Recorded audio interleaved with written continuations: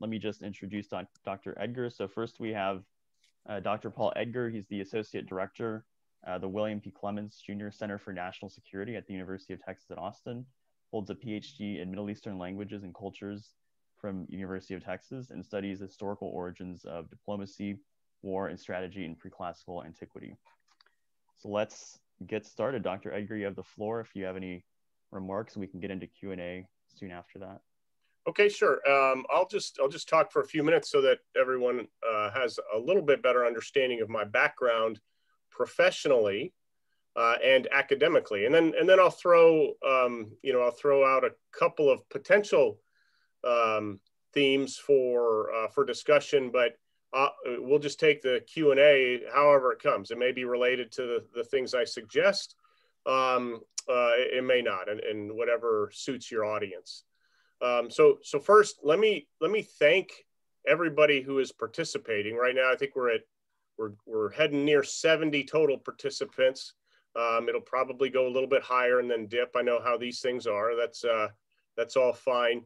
Um, but but let me thank you for your interest in international affairs. And we, you know, we, we have different terms um, for these things. And I'm not sure, you know, what, uh, you know, the school that you come from or the teacher that you have or the materials that you use may use different, uh, different um, terms because different terms are in vogue for different reasons at different times and, and they all usually have a purpose. But let me just thank you for your, uh, the term I will use is international affairs. So let me thank you for your interest in it uh, because it's hugely important and it's not going away.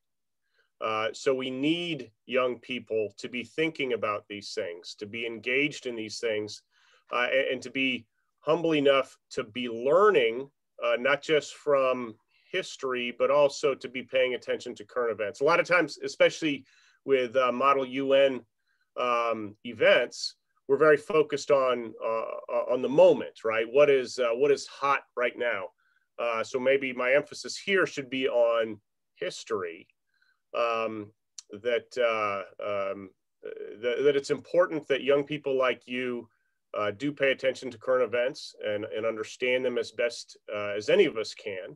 Um, but but also learn how to contextualize them historically and learn how to um, how to use analogies uh, responsibly.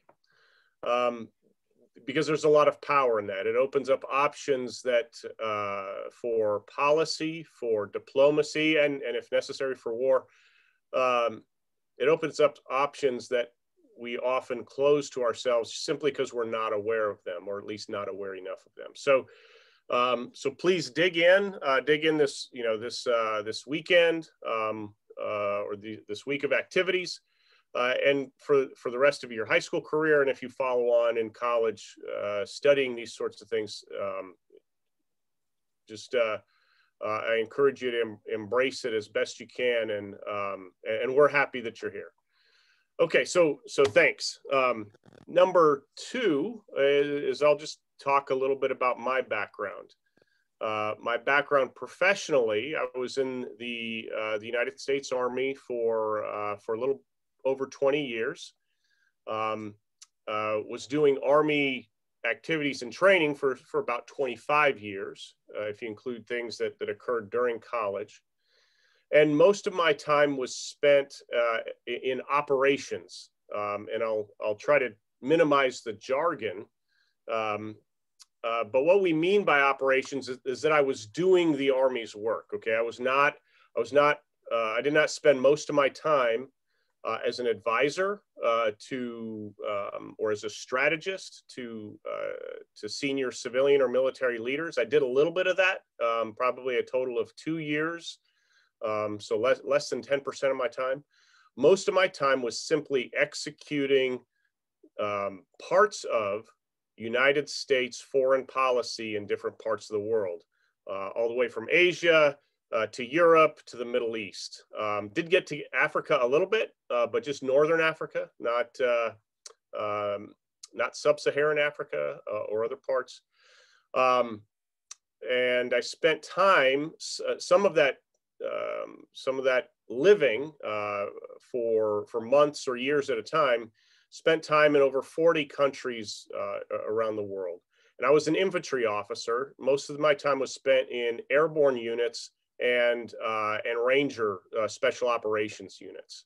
So that was that was what I did. I, I, I executed parts of United States uh, policy towards uh, different people, different countries in different parts of the world, um, and and uh, and I learned a lot. Okay, for me, the Army was uh, was a vehicle for education. Um, and uh, and I'm grateful for it uh, for for a number of reasons, but certainly for that for that reason.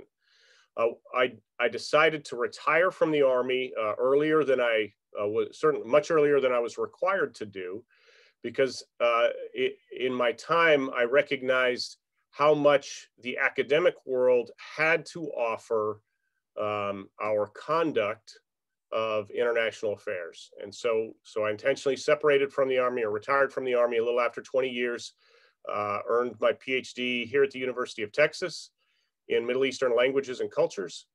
And then uh, following that, thankfully was able to get this really, really neat job where I get to work with fantastic students like Ross here uh, at UT uh, on a daily basis.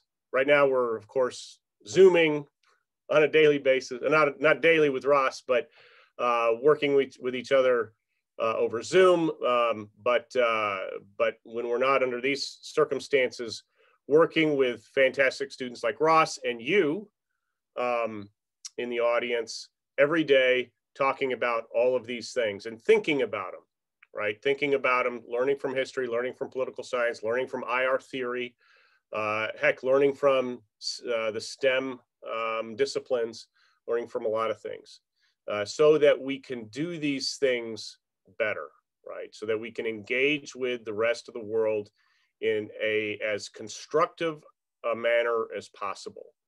Uh, so those are the two parts of sort of my professional life, you know, professional and then and then academic.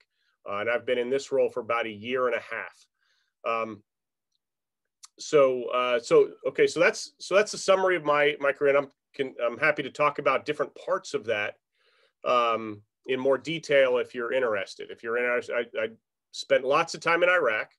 Uh, a little bit of that time was was uh, in governance, okay, in, in the Coalition Provisional Authority uh, as a security, essentially, you know, I don't want to compare myself to the National Security Advisor, but I had that role in Iraq to uh, to senior civilian staff in the Bremer um, uh, in the Coalition Provisional Authority that Ambassador Bremer was was in charge of. Um, but I also spent a lot of time in combat in Iraq and a lot of time in combat in Afghanistan. And if those things are meaningful to you and helpful, I'm, I'm happy to expand. But the, the two things that, you know, the two things that um, I offer to you to think about today, and I'm happy to discuss it uh, uh if your questions go in this direction. Um, there's two of them, and they're, and they're, they're very different. Number one is the nature of violence. Okay and I want to uh, I want to take this up right now because uh, because we've seen it in our own uh, within our own borders, right? We saw the uh, um, uh, the mob in the Capitol uh, just just a little over a week ago, um, and and and what we saw there, um, and I'm not talking about I'm I'm going to try to stay apolitical here. What we saw there was violence moving out of control. We quickly got control of it. Okay. Um, make no mistake that, uh, that once the law enforcers in that part of our country get organized, there's not a lot of people that can stop them from uh, from from bringing order to uh, to whatever is going on. Okay, uh, but we saw uh, within our own borders um, uh, the a little bit of the uncontrolled or chaotic nature of violence.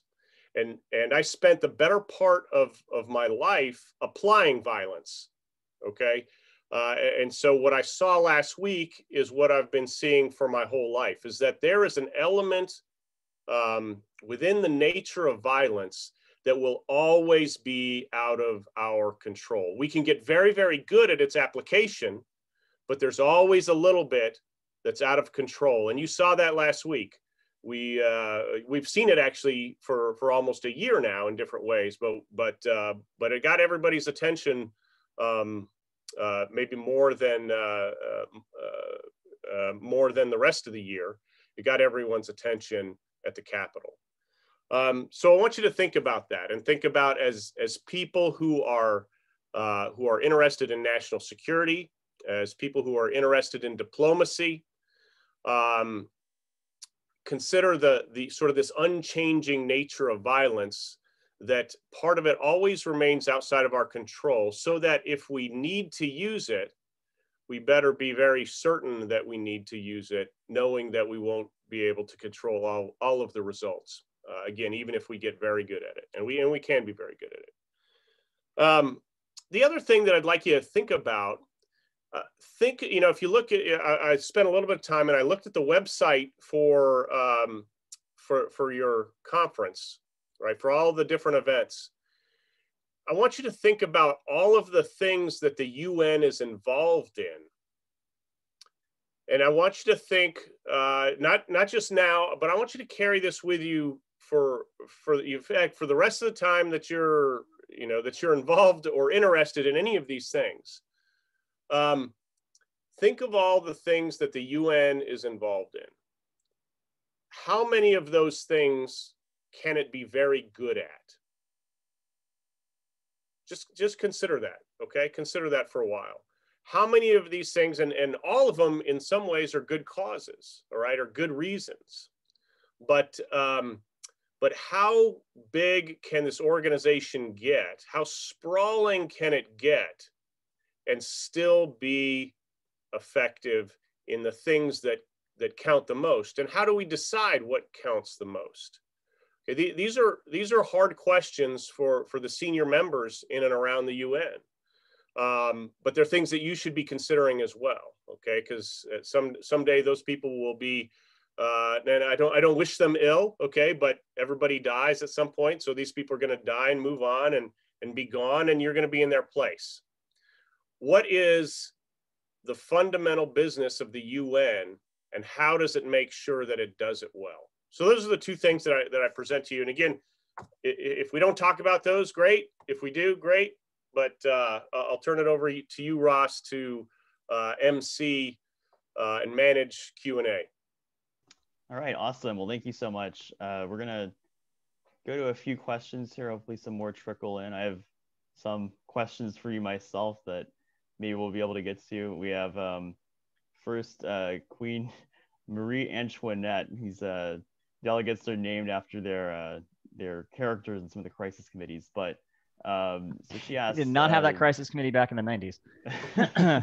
yeah, things have definitely expanded a little bit here at Hamun. But um, so she asked, they mentioned in your introduction that you studied or taught uh, pre-antiquity history. How has that study impacted you uh, your view uh, and how you interact with the world.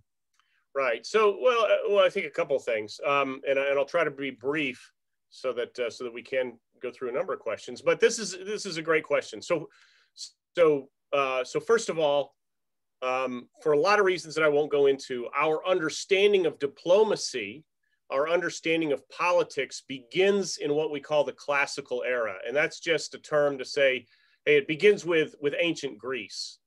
Okay.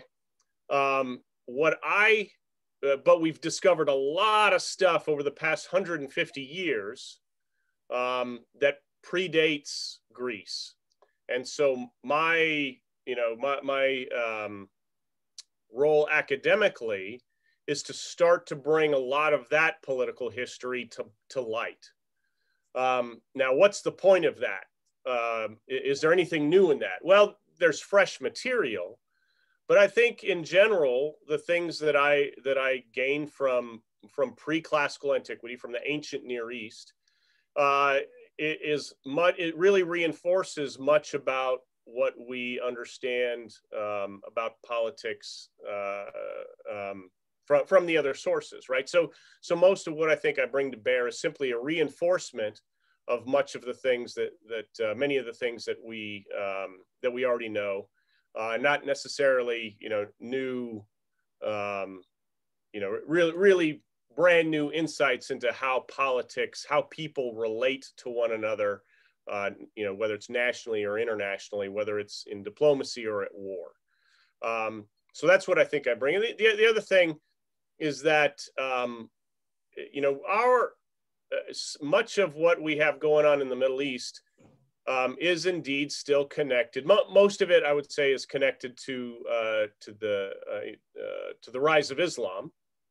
Um, but there's still a lot that is that is pre-classical, and uh, and so just understanding the weight of that history and its impact on the way people think and operate and make decisions in that area, I think, can be helpful. So those are the two things I think that, at least that come to mind right now.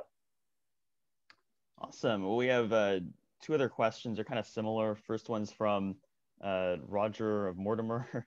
Uh, what is your suggestion to a, pros- a, prospective student at UT for studying international relations? And the second one um, is from Grace. Uh, what would you recommend uh, for students who are interested in foreign policy careers more broadly um, right. to learn more about now? Right. So, so I think you know, I, I just think history. Uh, that's and, and I'm I'm revealing my bias here. Okay, I'm re- revealing my bias um, in terms of academic disciplines. Um, I think history is the best teacher in this case. Uh, so, so if I were sort of designing, you know, my how, how, do you make Ender the diplomat, right? And, and sort of the Ender's game. How do you find Ender, right? And develop that that person so that they're the best they can possibly be when they get into a particular role. So um, it, it, would be history based. Uh, it, it, would not be an IR theory.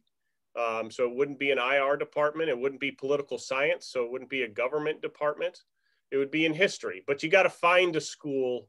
Uh, in the University of Texas, we can do a fantastic job. Okay, um, um, so there's a a there's a plug. All right, so um, in understanding international and diplomatic history, especially of the last uh, couple hundred years, um, because there's really a rich history, uh, just even just a rich recent history in all of these things.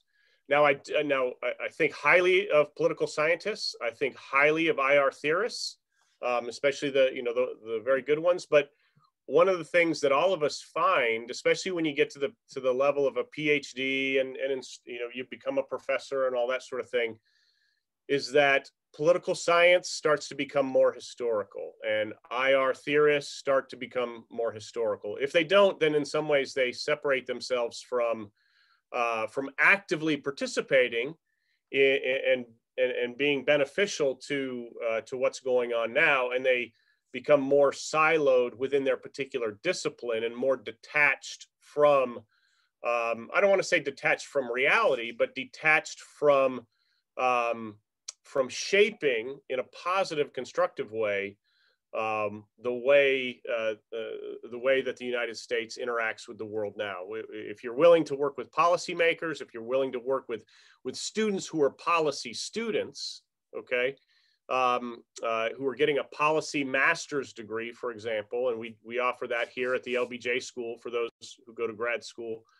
Um, many of you already know of great programs in Georgetown, George Washington, uh, Johns Hopkins, SAIS, right? Those, those are the three that usually stand out because they happen to be right in the middle of, of, DC and they benefit from, from that location in a, number of different ways. So, but it would start with history. It would start with learning classical diplomatic history, learning classical international history, uh, uh um, particularly uh, of the modern era. Great. Well, we have another question from Germany. Um, so Germany says, similar to how we look to ancient Greece and many ancient Western civilizations for the beginning of Western thought, are there any Eastern ideas that you feel hold important places in our society today? Um, yes. And let me, so let me, uh, but you did, so, so I'll say this though, when you get to class, when you get to class, you know, sort of uh, when you get to to um, classical Greece, right? You find people who are actually thinking about these things in a in a didactic way. Um, you don't find those. You don't find any sources like that um, for the most part.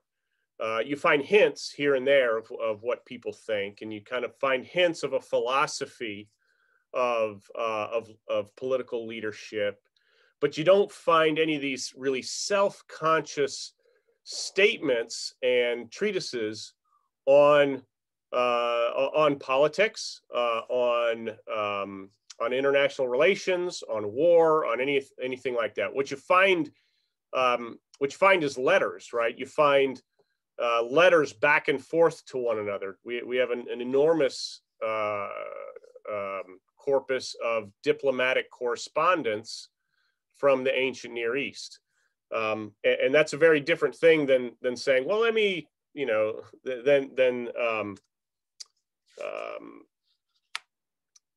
you know, than, than really, you know, reading something like the Melian Dialogue or, or, you know, something that, that again is more self-consciously a, a treatise on, on one of these themes. So, um, but you, you know, I, one of the things I, and, and, and I, this is, I want, I want to be very careful about what I'm saying here, because whenever anybody talks about Israel or, or, uh, um, or, uh, you know, whether it's ancient Israel or Jerusalem or, or anything like that, uh, people can go off on any direction and, and, and get very angry because you're neglecting the Palestinians or you're, you're anti-Semitic or, or whatever. Um, but I, so, so I want you to be very careful about what you hear and I want to be very careful about what I say. There is an incredible, um, in, incredible rich political understanding of, uh, of life that is communicated often in, uh, in biblical texts. And, and I'm not here to tell everybody that, you know, they need to convert to Christianity or Judaism or, or anything, okay? I'm just saying that there is, there's a lot of political wisdom in these things um, that you don't get in, uh, in, in what we call the Western sources. Um, some people would say that the Hebrew Bible is a Western source. It's not, not at all. Um, you might say that it's been interpreted in a way that is Western, um, but uh, but it's certainly not a Western source. So, uh, and let me give you an example so you get a better sense of what I mean. Um, in uh, in the Hebrew Bible, there's there's a there are passages that we call the law of the king okay? And it's it's a source that we believe was taken and and and integrated with uh, with the rest of uh, the text that it's in and around. Um, and the law of the king restrains it, it restrains okay? It restrains the power of the king. That's that's pretty powerful you know political philosophy there um, that uh, that that people saw the problem of an all-powerful ruler and then built up hedges around it so that it could be effective and constructive without being so narcissistic that it was destructive okay? So um, so there's there's a tremendous amount of of uh, of, of you know uh, political information and wisdom in these texts and that's an example of it uh, of one, or at least that's one example of it, um, that uh, uh, that are not classically or in, in, any other sense, you know, Western. So, so there's one example.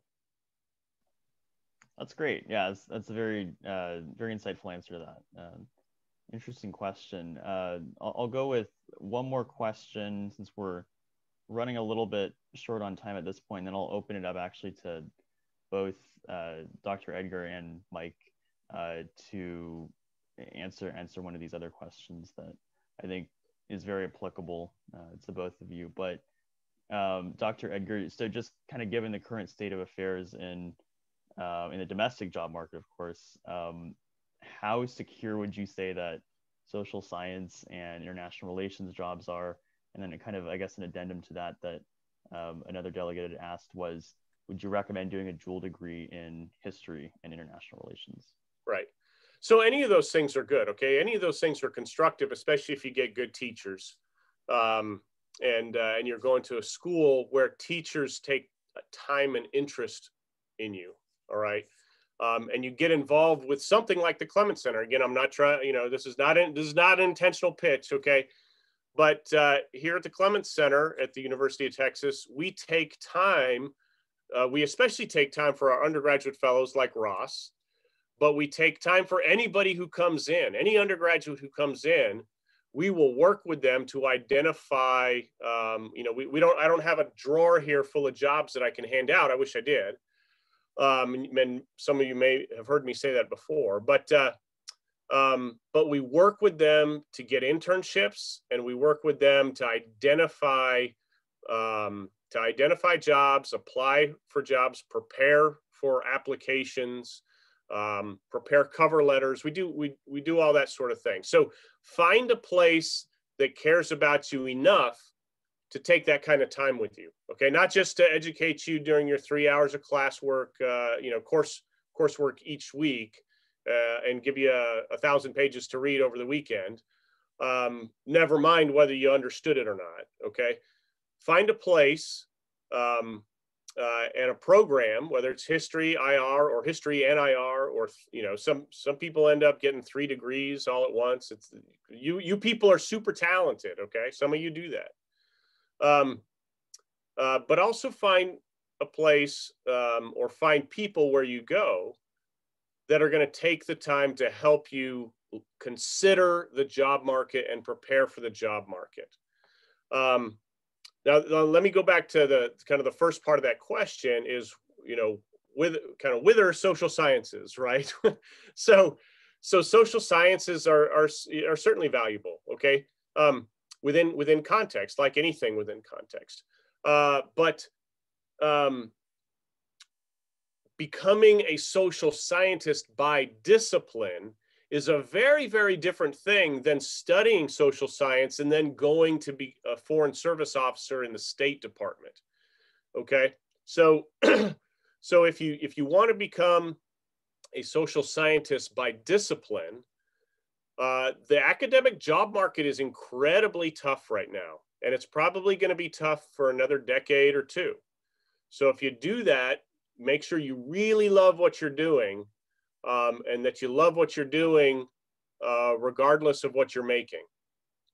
But if you if you just want to use it to to learn and grow and understand, and then go do something else where those that knowledge is useful, but it's not necessarily um, you know, discipline as far as a discipline, um, what it is that you do every day, then then I don't think you have much to worry about because there's lots of you know the, the the job market will go up, the job market will go down.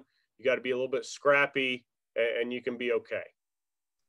You also yes, understand yeah. that you, you don't find something you know you don't find your dream job a week after you graduate. Go do something productive.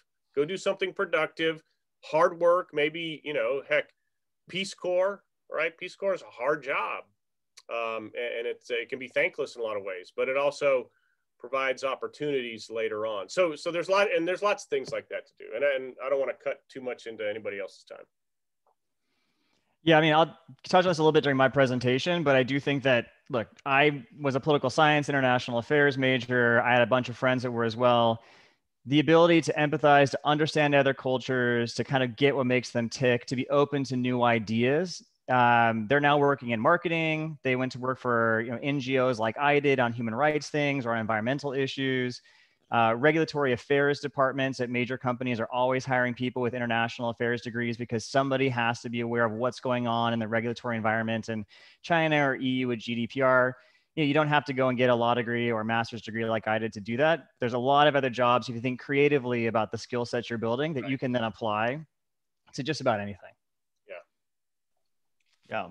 Very good. Yeah, very much. Um, another question, you know, and, and Dr. Edgar, thank you for being here. You can stick around. This question kind of goes to you uh, and Mike both. Um, but I, so I guess one of our delegates asked, how can leaders work to unite their people especially given if their people are deeply divided and in discord. Um, you know, very, very timely question, especially given the events of the last few weeks in this country. Um, how can two different sides learn to compromise um, and respect each other realistically? We'd have a Nobel Peace Prize if we knew the answer. I mean, I'll, I'll say this, and I touch on a little bit in my remarks next. Um, again, I, I always come back to empathy and I come back to, you know, it's willing to have your position and it's well reasoned and you get it and you can't understand why anybody else would take a different one. But even if you disagree fundamentally with the person that you're talking to, trying to get behind that position to understand where they're coming from. What was it that maybe led them in their life to be in that position? Um, you know, maybe they're taking a, a, position that they don't even necessarily believe in, but there are external factors that they feel are forcing them to sort of stand up for that for that particular position that you disagree with. Understanding what's going on and finding smaller avenues. You know, water finds its way through a stone eventually. Finding avenues to engage in a more productive fashion will come from that but fundamentally it can't be just a you know compromise doesn't doesn't mean the other side has to give away something and i get to keep everything. That's not how this works. And part of that is just sitting down and having that dialogue to truly understand what is what do they really want versus what they're saying and how they're articulating it because it can be two very very different things. At the end of the day everybody wants to feel like they're productive you know have a job provide for their families and all the other things you know have a sense of status and worth in our society they may some people may just be expressing it in entirely polar opposite ways but fundamentally when you talk about what are you really looking for here you might find a ton of common ground. Very true. Yeah it's a great answer. I mean dr edgar if you have anything to add to that we're gonna i'll, I'll kind of segue into into your uh, section mike uh, sure. and then we can you know we, i'm sure we'll have some questions later where um, you know that might be applicable to both of you. I don't know if dr edgar you have to hop off. Um, i don't want to cut into your afternoon too much, but um, you know, regardless, thank you, thank you for being here. But if you have anything to add, you know, go ahead. Uh, I'll just uh, I'll give a thirty minute. I'm not thirty minute, thirty seconds, and uh, and then I'll I'll stay on um, if it's uh, and uh, but um, watch. Let, us just talk domestically for a moment. Um, watch and see what this Democratic administration does um, not just to communicate empathy, but to actually compromise. If it, if it actually compromises, that's a huge step that nobody, that it feels like nobody's taken in, in, in I don't know, two or three or four administrations, okay? Um, if they actually compromise, say, you know what, this is our political goal and we are going to sacrifice it entirely or partially because you disagree see if that happens. Um, certainly didn't happen uh, that I saw with the, the last administration. Uh, didn't happen, um, at least in, in, in, my view, didn't really happen with the Obama administration and didn't really happen with the Bush administration. Okay, you probably have to go back to you probably have to go back to uh, to President Clinton to find some honest um, honest compromise, uh, and um, lots of reasons for that. But I'll stop here. Very true. So we'll yeah we'll have to see how things transpire over the next next uh, four years or just the next hundred days of this administration. But um, Mike, you know the the floor is all yours. I'll, I'll introduce Mike Lundberg. He's our next our next speaker. So uh, former high school and Yale University Model United Nations participant. So very you know appropriate for this conference. I'll just go ahead and dive in. Uh, I'll introduce myself as part of the presentation. So um, I just called this one from Model UN to the real UN. Uh, because fundamentally, as, as, Ross was saying, I, I grew up a Model UN nerd. Uh, I've done Model UN uh, for years through high school as well as through college.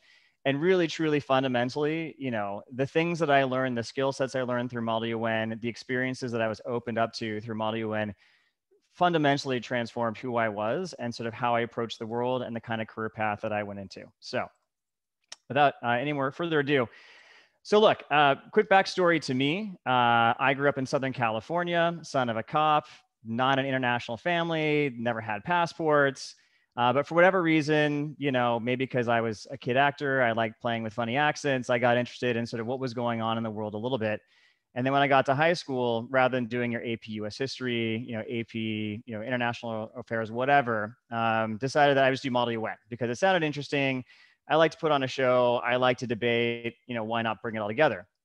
And fundamentally, the uh, the things I learned about debate, about empathy, about playing the part, about learning your audience, about you know how to craft something that can be compromised for everybody, really got formed in my time in high school. So thoroughly enjoyed it, thoroughly loved it. In fact, my college admissions essays were about an experience I had debating somebody at the Singapore uh, embassy in DC when I was there for the Georgetown conference. Uh, that then led me to college, where again, like Ross said, I was part of the traveling UN team. I was secretary general of our Security Council simulation. I mean, I played sports, but realized early on that was not going to be a career path for me that in fact my sort of love for international affairs, my international friend group, the ability to travel, to speak foreign languages like Spanish and Portuguese, all these things were just kind of coming together that really international affairs of some form was going to be in my career path. So, you know, like every college senior, I was getting towards graduating. I'd taken the LSAT prep courses to go to law school. I chickened out at the last minute and said, What am I going to do with my life? Well, shoot, let's go ahead and get a master's degree in international relations. You know, I'd wanted to study abroad anyway, so here's my great excuse. So I ended up going to London School of Economics. Um, I got my master's degree in international relations. Uh, my undergrad degree was in political science, but really was a massive focus on sort of not so much the, the history was part of it, but also like the functioning of international organizations. So I took a ton of classes on how the United Nations works, how the European Union works, you know, uh, international law and non-governmental organizations, human rights organizations, sort of how the international community kind of operates as a holistic whole. That was sort of my focus. And I'd say, you know, I wrote my senior thesis on UN sanctions law and the role of UN sanctions on diamonds and helping bring to the end uh, the civil war in Angola. So then kind of parlay that into my master's degree at LSE, again, focusing this time more on sort of civil society and how, you know, post-war, um, sort of, I guess, post uh, in the reconciliation phase and the reformation phase of a country after decolonialization, you know, how can you build up a society that can sustain itself? How do you build capacity? How do you ensure that all the good governance things you're trying to put in place through a UN peacekeeping mission can actually continue? That was sort of my focus there. Uh, ended up falling in love with London, did not want to come back to the States, wasn't ready to grow up yet. So then I got my first job, which was at an NGO called Global Witness. Uh, and GW is it's a Nobel Prize nominated NGO based in London. And their remit is looking at the nexus between conflict resources and conflict. So looking at blood diamonds, blood timber, and the way that you know rebel groups are very rarely led by a true believer more often than not, they have a small army of true believers, but a lot of the folks that are involved are really, you know, Western interests, financial interests, people looking to make a buck, who then just sort of cover themselves with this overlay of, oh, I'm really into this position or into this this leader. A lot of times, what's driving the conflict behind the scenes and logistically as part of the conflict itself are these financial interests that people have. So this is the more interesting bit of my career uh, from ages, what, 22 to 25 that I'll focus on on the next slide. But just to kind of show my progression. So looking for jobs out of undergrad or out of grad school in international affairs, absolutely go looking at groups like Greenpeace, Global Witness, uh, Amnesty International. You know, there's those are the major ones, but there are also a lot of smaller ones that are either just focused in the US or regionally focused that you should absolutely be looking for. There are tons of listserv, listservs out there that you can get on uh, for hiring for international organizations looking for volunteers or looking for you know junior entry level people. Sign up to those, get the email blasts. DevNet jobs is a big one as well. Just whatever, get on as many listservs as you can to find as many opportunities and apply for them all. Uh, then after uh, a number of years at GW in London, mucking around West Africa, which I'll get into, decided I was tired of getting sick on every trip. Uh, I was tired of, frankly, looking back at it, being in a lot of danger. Uh, so ended up giving up for the glamour of the law. Uh, I went to Georgetown for law school, convinced that I was going to be a human rights attorney and continue my nonprofit ways. Uh, decided partway through that, in fact, what I really found interesting was applying that sort of human rightsy mindset to actual business. So, looking at compliance work, so the Foreign Corrupt Practices Act, securities trading litigation. What can I do as part of my investigative background and sort of call it higher moral authority and higher ethical compass to try and hold people accountable for their wrong actions? So I ended up becoming a white collar defense attorney, uh, working at a big firm in Los, based in Los Angeles, but global called Latham and Watkins for almost eight years, where I, you know, was an associate focusing on white collar crime. And for eight years, I effectively did my not exclusively, but almost exclusively, my sort of uh, career was made up of internal investigations, primarily for overseas companies uh, facing investigation in the US and Europe on bribery charges. So a lot of multicultural engagement, a lot of understanding, you know, why something might seem entirely deplorable under US law, but was actually a tax write-off in the country at issue and trying to slowly play part lawyer, part psychologist to folks to kind of make them understand why they're good people, but somebody somewhere thinks you're a really bad person who should go away for 20 years and pay a $300 million fine. So you're kind of balancing things there at Latham. And then I decided that eight years of working at, you know, uh, a very nice sweatshop uh, was enough for me. And then I decided that I was actually going to go in-house. And so for the last five years, I have been an in-house compliance attorney at a global energy company based here in lovely, sunny Miami, Florida. So again, these are all things and skill sets that you can take with you around your career uh, geographically. Thanks, Siri. Uh, geographically, uh, as well as in sort of different segments of work. So just because frankly it is probably the most interesting job i will ever have and it really does sort of show how model un comes into the real world. Let me talk to you about my my time at global witness. So i call this from research to resolution the evolution of an effort. So when i joined global witness again i was just a volunteer at first. I was not getting paid and that's another sort of career tip for you guys. If you can you know take your student loans, if you can work for the summers and save up your money, if you can dedicate three or four months of free labor to an organization, it is far more likely that once you're in and they like you and you've proven yourself, they will hire you for a permanent position. Here, I was working in London. I didn't have a work permit. I was a foreigner, technically there as a tourist, but I showed up every day. I worked really hard on a number of campaigns, and they started a new one on Liberia in 2002. And the issue in Liberia, if you don't know the, the history of the civil war in Sierra Leone and Liberia, basically the gentleman on the left uh, in the hat, Charles Taylor, is the former president and dictator of Liberia, a country in West Africa, originally founded by freed American slaves. Uh, a very greedy man who basically wanted to gain access to the diamond mines of nearby Sierra Leone. And the way that he found to do that to enrich himself was to start funding, both with money and with weapons and with support, uh, rebel groups in Sierra Leone, in Guinea, and next door in uh, Cote d'Ivoire. And what was driving that, uh, first off, was his interest in earning money through the diamond mines in Sierra Leone, but then later on also exploiting his timber resources within Liberia, which is sort of where I come into the picture.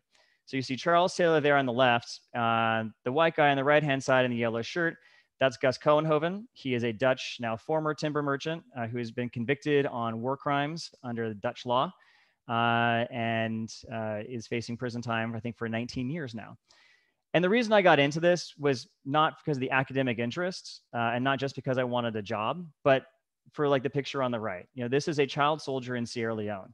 This is somebody who was forcibly taken from his home, possibly forced to kill his family members, uh, chop off the hands of relatives, set fire to his own village, all because of the greed of certain individuals, like the guys on the left, but also because the international community let this happen because the resources that were being exploited uh, were going to Western markets, they were going to China, uh, they're going to the United States. And nobody was really trying to break that link between the consumer goods that people wanted in the West and the source of that of the, the raw goods, which was a conflict somewhere in you know in West Africa. So that's how I got interested, more from an emotional perspective. Uh, this is me on my very first trip uh, in upcountry West Africa. Uh, so we were part of a, an NGO. We were independent, but we did have a lot of friends on the ground at various other nonprofits or folks who were working for the UN mission. So on this trip in particular, hitched a ride on an antiquated ancient Ukrainian UN helicopter to fly up into the corner of the border between Sierra Leone and Liberia. Um, I call this my CNN picture uh, because I'm carrying my notepad because I was always talking to people and also because the bag over my left shoulder uh, held pens and papers and things like that, but was also a hidden camera. So a lot of the investigations that I would do would be undercover. Uh, sometimes, you know, I because of the organization I worked for, we could not go to Liberia. We would not have gotten out had we gone in.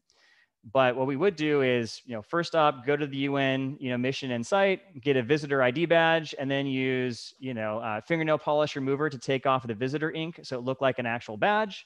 Uh, we had fake business cards. We had, you know, different sort of stories that we would tell people. I was a PhD student or I was a UN volunteer or something like that to get up country, to talk to people, to figure out exactly what was going on. Um, that was the small part that we played from the organization. we very largely relied on uh, a small army of very dedicated um, undercover sort of sources within Liberia who every day risked their lives to gather information for us. So taking pictures of weapons coming into the country, taking pictures of logging ships that were taking, you know, the wood out of the country, getting ship manifests of the weapons or ship manifests of who was buying the timber that was on board.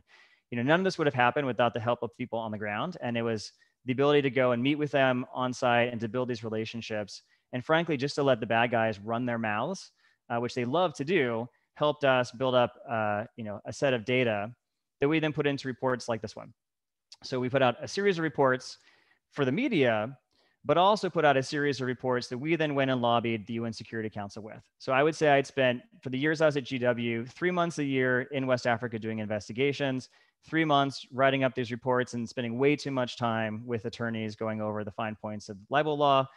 And then three months in New York or DC lobbying the UN Security Council and the US State Department. So, as a MUN geek growing up, the idea of actually going and sitting down with an ambassador to the UN in their offices, or even better yet, in the antechamber just off to the side of the Security Council itself, was a little mind blowing incredibly humbling but also super exciting because you know after years of working with our local sources and lobbying and hitting up the russians i've i have gone head to head with sergei lavrov. He's a tough guy to talk to uh, going head to head with your your friends in the us and the uk the chinese who would never tell you exactly how they felt the french who were up for anything you know it's just this back and forth you always had to go through for years and then wouldn't you know it in uh, 2003 the un security council actually took on our arguments, took our recommendation, and sanctioned the Liberian timber. And within months, Charles Taylor was, he lost his source of foreign income.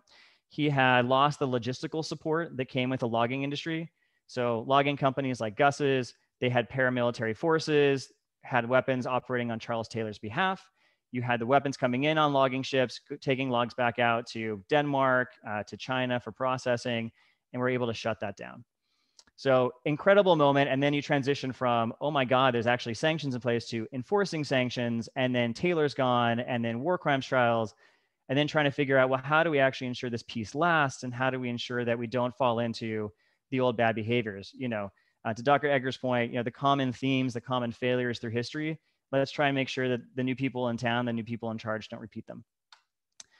Um, I won't say that it was all tough going. So one of the groups that we collaborated with a lot at Global Witness was Greenpeace. They came at the issue from the environmental side. We came at it from sort of the financial logistical side to, to mutual success. And we were actually invited to go on the Greenpeace Warrior 2, or, or Rainbow Warrior 2 once, to go sailing around the Mediterranean to try and chase down some ships that we thought had Liberian conflict timber on it. Didn't catch any, didn't get to uh, you know shackle myself to anyone's vessel, but still kind of an exciting way to sort of wrap up the campaign that we had. And then for me, the crowning achievement was my first year of law school. I got an email from a very long last name from the Dutch prosecutor's office requesting my presence to testify in the war crimes trial of Guus Kouwenhoven because the uh, Dutch government had decided to prosecute him for the crimes he had committed in Liberia. Had no counsel, didn't have an attorney, first year law student trying to figure out what was going on here, um, but ended up in a conference room at the State Department with the judge, the prosecutor, the defense attorney, and a court stenographer, and a whole little audience of State Department folks who work the West Africa desk in there as I had to testify about the horrible things this guy had done and to also ensure that in sharing the information, we were able to sort of create new case law in the Netherlands where we could protect our confidential sources because even to this day, frankly, if they were known who they were, their lives could be in danger. So there's a lot of law works very slowly. There are a lot of appeals. He was, you know, appeal was overturned, conviction was overturned, but now his final conviction has been upheld, which is fantastic. So some accountability. That's the whole reason I went into law. A little bit of accountability goes a long way. So like in closing for me, you know, some of you guys are there just because look, it's easier than AP US history. I get it totally makes sense to me. Some of you are here because you really have a sort of a nascent interest in international affairs. Nurture that. But whatever reason you're here, there's a lot of skills if you actively engage in Model UN that you're going to pick up. One is networking. I still hate going into a room of people that I don't know and trying to make friends with them, but it's necessary. If you're going to be an NGO worker, if you're going to build a base of data points and contacts, you've got to be able to talk to people. MUN has been great for that even if can't do it over Zoom, but in the old days when you're in person, you know, the couple of kids sitting in the back, those are the easiest ones to go to to get to sign on to your resolution, new friends, and you build out from there, right? You find your way in, you get started, you get more comfortable, and you get better at what you do. Again, playing to the audience. Like I said, you have to know the argument that's going to work for the people you're talking to. If we had gone in and said, you need to do this for human rights purposes to all members of the Security Council, would have gotten nowhere except for maybe five or six of them. You have to have a targeted message that gets at the right things people are concerned about. Some are worried about their reputation, some are worried about the economic blowback, others are worried about the human rights issue. You've just got to figure out what works to make your argument to get where you want to go. Um, so we said before, knowing when to compromise and knowing when to stand firm. Look, there are certain things we couldn't compromise on from a position perspective, but there are other things where, look, you can, in terms of duration of sanctions or who gets to monitor or what the, if you want to have a monitored sort of industry with you know smaller exports, there are ways that you can compromise to try and build a coalition to get something done. Um, resilience, I can't tell you how many times we met with the same exact ambassador or the same sub to sub to sub to Charge d'Affaires before we actually got some action done. But it was that repeat meeting. It was that constant talking to somebody. It was that I'm going to put up for 45 minutes of you talking at me before I can get my 15 minutes of like my sell in, and then it actually works out well for you. Um, clever drafting, word choices, words matter. How you word something can make a difference. One word can have 15 different meanings. And if it's vague and that works for you guys, fantastic. That can be great. But if it's vague and people can abuse it, that's a problem. Things you have to worry about. Um, two more things empathy, like I said. One thing MUN teaches you is the position of Chile and the position of China and the position of Australia on a particular subject could be diametrically opposed. But understanding where they're coming from, why they have a particular concern or lack thereof, or why they're taking a position or not, bleeds into how you interact with humans as well. And so trying to think behind, get behind their psychology, understand that they may just be a mouthpiece for something bigger than them. So it's not personal. So then trying to appreciate that and recognizing that and still trying to find ways where you can work together was massively important for me in my career, both in law as well as when I was a global witness. And then finally, look, knowing that anybody can make a difference. If a kid from Southern California who's the son of a cop who didn't have a passport can end up working in upcountry West, West Africa, in Liberia, helping take down warlords and, and dictators and getting UN sanctions uh, resolutions passed, anything is possible.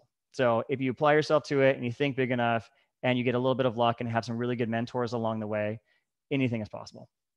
So, well, thank you so much. That's my spiel. It was awesome. That, that, was fantastic, Mike.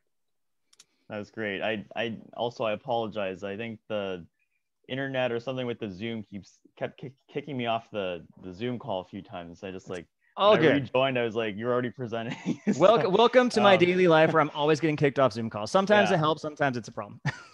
yeah, it's uh, it's no fun. Um, we will now jump into Q and. I think we're gonna go over time a little bit, so um, you know, delegate feel free to to stay on. I know the lunch break is from uh, 12:30 to 1:30. We don't want that to to cut into your lunch, but if you're interested, stick on on the call, and we'll we'll do some Q and A. So first question is from Germany. Um, so Germany says if you're hesitant to go into the action but still believe in the message of organizations like Global Witness, are there other options that are more behind the scenes? Yeah. So I mean, like at Global Witness, most of our team would not go in the field. Uh, you know, we had a ton of support staff in London and our other offices that were helping, you know, work on anything from like, for example, if you're a, you're a finance major, we had a whole finance team and a grant writing team. If you're an English major, my God, every nonprofit needs a really good person to help out with their grants and craft a compelling story to get money from the donors. Uh, there's all kinds of ways to support it, not just on, say, the international relations side of things, but whatever skill set you have, you can apply to an organization like that and we were in desperate need of people with a finance background, an IT background, um, you know, a grant writing background all the time because those. It's one thing to be able to go and you know craft a report and go you know run around the hidden camera being stupid.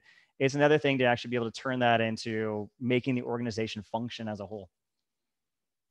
Great. Um, so this question, you know, can go to, to either you, Mike, or, or Dr. Edgar. But um, you know, when, if ever, was the first time that you considered giving up your job because of security risks and what made you stay in your job i mean i'll take it from my side because the army is a whole different story uh, so for me I, I never really I never thought about giving up my role because of security risks. I mean, I was in my early 20s. It was all kind of exciting. You knew it was risky. We never had security with us. It was just me and a partner every time on our own.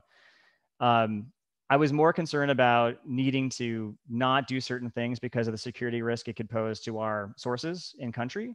Uh, and then, frankly, also at the end of the day, I just got really sick on every single trip, like guaranteed every single time I got sick. And we were down there for four, or five, or six weeks at a stretch, which makes for a very long trip away from home. And look, after a while, like we got the sanctions in place, Taylor was gone. It was now moving into different sort of reconstruction and monitoring phase, which was not what I was interested in, in doing. So that was the natural way, time for me to segue back and go to law school.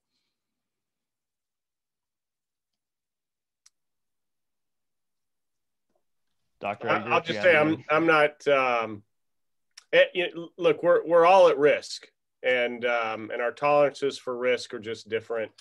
Um, I mean, I, have I've certainly been in some uncomfortable situations that I would rather have not been in, but uh, but I never, um, you know, I never, I never questioned what I was doing uh, enough to to make me change careers. And and I would just also say that um, everybody, you know, sort of you hear this in movies, right? Everybody's afraid. It's just those who over, you know, they have some phrase about overcoming your fear, right? You know, don't go ahead and be afraid, but still do the hard things. Find an opportunity to do the hard things. I'm not saying be stupid, okay, and go run in the light of fire. Um, you, you shouldn't do that, even if you're in the army. But um, but uh, but do takes you know push yourself to take a little bit of risk to make yourself more uncomfortable, um, even if it's only for you know a month or a week or whatever. Make yourself more uncomfortable than you want to be uh, test the waters a little bit. And, and you might find that um, not only it's safer than you thought, but also you may have a, a taste for things that you didn't expect. Definitely, that's that's great. A um, couple other questions. I'll kind of combine two of these um, for you, Mike. So, mm-hmm. first one is uh, one of our delegates asked, "How stable is working for an NGO? Can you be somebody that's comfortably employed directly out of college. Um, and then, kind of as an addition to that, um, if you want to go the medical route, how can you contribute to the United Nations or adapt medicine to a career like yours?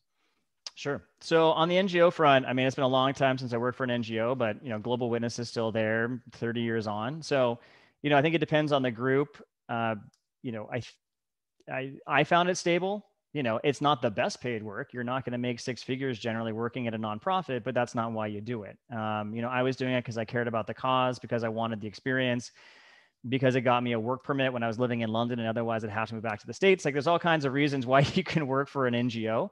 Um, you know, I they're the bigger ones that are obviously the most well funded. Um, you can go on something like the Open Society Institute and see the organizations that they fund. They're always very good, generous, consistent funders. So if they're an organiz- they fund an organization, they're likely to be well managed and ready to hang around for a while.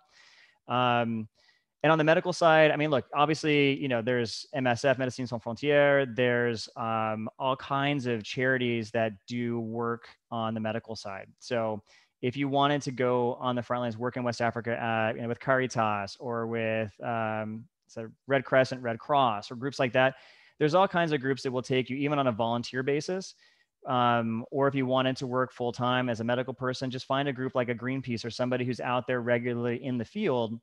They're going to need somebody you know to advise them from a medical perspective on a risk perspective who's going to be able to hop on a, a plane and help people out if they need it so, I mean, definitely there's lots of opportunity there, not just medical charities, but also regular charities that might be large enough to have like a medical arm to it. I definitely recommend that. Um, by the way, one other point, the question was raised earlier on by someone called Kyra uh, or Kara about concern about whitewashing history and international affairs and how to get around it. I helped get around it because I selected my professors a certain way. And when I went to LSE, I wanted to study abroad and I wanted to take from certain professors who I had research, who I knew had sort of progressive view on things. Um, and also was looking for opportunities to cross study to other universities like an HBC and things like that. So there's ways that you can get around it. It just takes a little bit of research on your side too. But I wanted to make sure I answered that question.